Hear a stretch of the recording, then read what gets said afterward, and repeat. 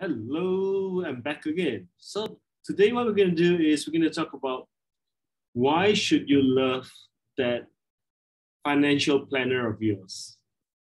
Because previously we talked about why you shouldn't hate the person.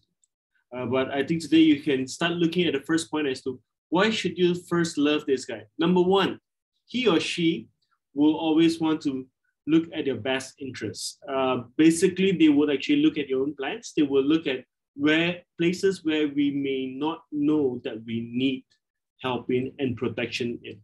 Number two, I always feel that these people are the most helpful people. Uh, let's say if you call them at any point in time, they would always get back to you.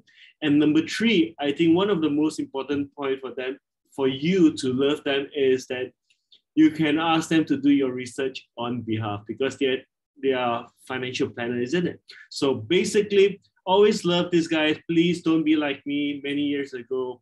Always bully them, being harsh to them, and trying to teach them a sales pitch or two along the way. But basically, if they come to you genuinely, really caring about your financial health, um, do like them, do love them, take care of them, and they will always take care of you. All right, just a short one today, and we'll come back tomorrow with more tips.